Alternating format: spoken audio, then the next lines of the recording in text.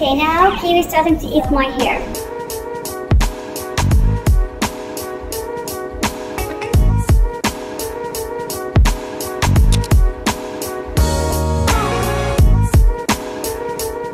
ريحتها لا تقاوم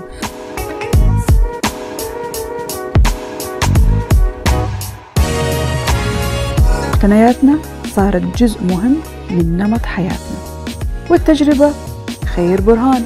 لذلك أنا جربت واقتنعت. فحبيت واقتنيت